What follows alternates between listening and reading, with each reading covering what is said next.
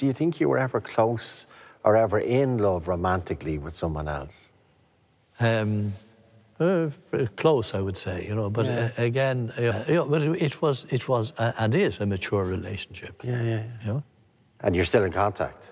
Uh, uh, yeah, I mean, yeah, yeah. But we, we, you know, we, we live a long way away, you know. Yeah. But occasionally, you get, you know, Yeah. she taught me what WhatsApp is, you know. Is she okay? okay.